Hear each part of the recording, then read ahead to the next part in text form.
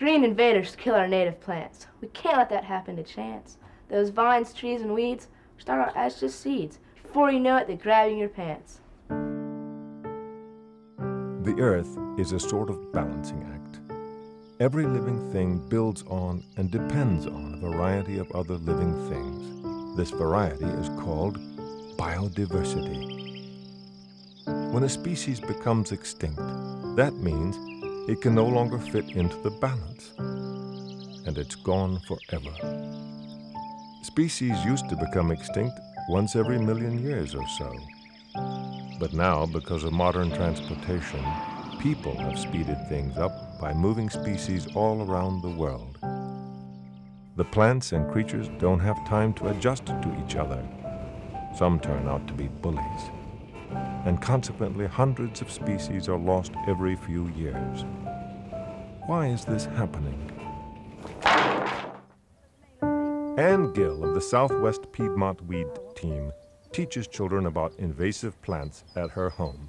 Imagine you're out of control, but you're also a plant.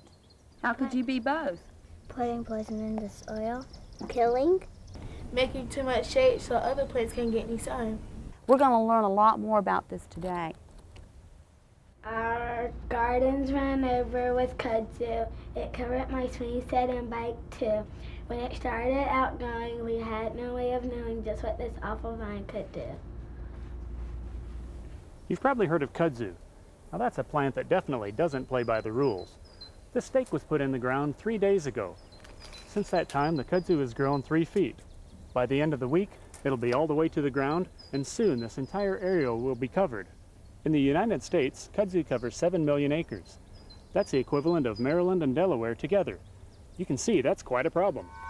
Now the way the invasive plant problem happens is really quite interesting because most of the plants that are invasive here in the eastern United States came from eastern Asia where there is a very similar climate.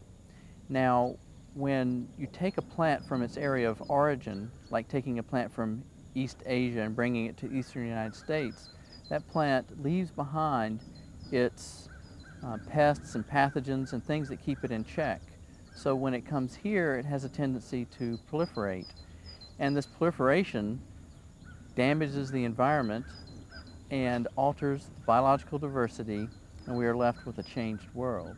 When ivy takes over your yard, your native plants get hit so hard. They get poisoned and strangled, their root systems mangled. This ivy sure needs to get barred. Different plants invade in different ways. English ivy smothers other plants on the ground, but it causes the most trouble when it climbs up trees. Not only does it kill the trees, but when it climbs trees, it makes seeds and those seeds spread everywhere. This plant is invasive and its name is Elaeagnus and it's took over this whole area and the birds come in and they eat it and they fly away and poop the seeds and that's how it gets moved around and it's the only thing growing here so that's why they eat it and that's how the seeds get moved around. That's why they're called green invaders. And this is another plant that's invasive. It's Japanese honeysuckle. Everybody see the seeds coming on? So it makes seeds that get eaten by birds also. Green invaders can be hard to spot. To most people, they look like any other plant. So now that we've identified some of the plants, let's mark them so that we can see how many there are. Okay, let's get the paint. Japanese stilt grass. Elaeagnus, kudzu, privet, Japanese honeysuckle, English ivy. So what do y'all think? Cool. Wow. I didn't think there would be so much. When you properly identify them, it's kind of amazing how many there are, aren't there? Yeah. Once green invaders take hold, it's difficult, but not impossible to get rid of them. The best way to control invasive plants is very simple. Teach people so they don't buy them. Hi, I'm Anton, and we're doing a documentary on invasive plants. Do you know what that is? No, I'm sorry, I don't. Would you like to know? Sure. invasive, like IN? Uh, no. I knew it in seventh grade. No, I don't. From the plant kingdom, or are we talking a spy? Do you know? Do you know? Do you know? Do you know what an invasive plant is? No, I don't. No. No. Do you know what an invasive plant is? My wife plants plants in my garden, and they take over everything, and they just go on and on, and after a while, the whole garden's just infested with it. Am I going to be on TV? There's a well-known ecologist by the name of Edward O. Wilson who has pointed out that the greatest threat to biodiversity outside of habitat destruction are invasive species. Now, no one knows how much biological diversity is needed to maintain food chains and food webs for, healthy, uh, for a healthy balance of nature, but when we do find out, it might be too late. Now, this problem is so serious that the President, uh, President Clinton, created the Invasive Species Council that works with all 50 states to help control invasive species. Now, we at the North Carolina Botanical Garden are part of this huge effort, and we need your help too. We can all pull together to help nature restore itself.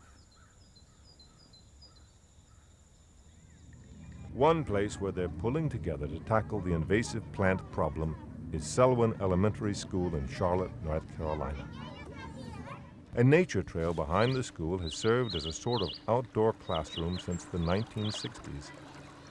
But the trail is vulnerable. In its small world, we see the damage caused by development, as well as signs of struggle with pollution. But the greatest threat to the trail has been from invasive plants. There was an old man named Michael Finnegan, pulled up some weeds, but they just grew in again, and kept on pulling because he knew he'd win again. Good old Michael Finnegan began again.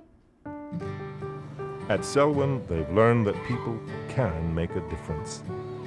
Organized weed roundups prevent green invaders from completely taking over and give native plants a chance to return.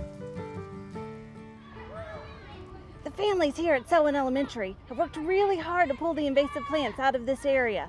It was overrun with mimosa, honeysuckle, and ivy, but they caught it just in time. Now there's a rich variety of trees, shrubs, and wildflowers growing here. As well as the mammals, reptiles, and insects that use the native plants for food and shelter. It's important to blast these invasive plants all year long. Because one clean out just won't fix it. You have to keep at it. Keep, on pulling. More and more plant species become extinct every year. We are losing our diversity. Our lives depend on this in ways we can't even start to understand. But you can do something about it. Just begin.